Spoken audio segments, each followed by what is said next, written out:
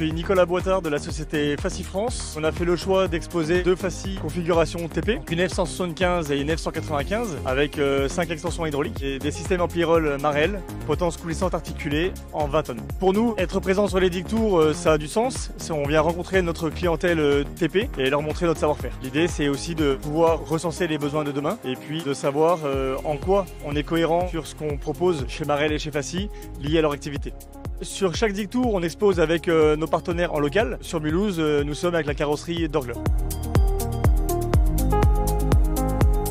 On est la carrosserie d'Orgler, carrosserie industrielle depuis plus de 50 ans.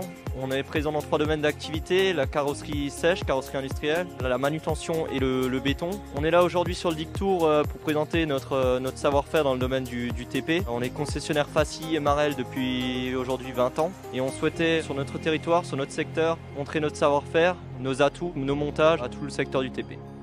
Donc la force d'avoir un bras avec une potence coulissante articulée, c'est de limiter l'angle de chargement du caisson. Les angles peuvent s'avérer très euh, importants et on peut avoir un déversement du contenu ou alors euh, du déjaugeage de euh, pelles, mini-pelles qui peuvent être euh, dans le caisson. Marel propose aujourd'hui une potence coulissante et articulée qui permet de limiter cet angle lors de ces phases de chargement. La grue Fassi, radiocommandée, donc euh, a des protections sur les vérins, travaille avec un distributeur type Danfoss pour offrir de la souplesse et de la rapidité, ce qui est attendu par notre activité TP. En parallèle, on va retrouver les béquilles relevables hydrauliquement. On travaille sur des empattements le plus court possible et une barre anti-encastrement compatible au finisher.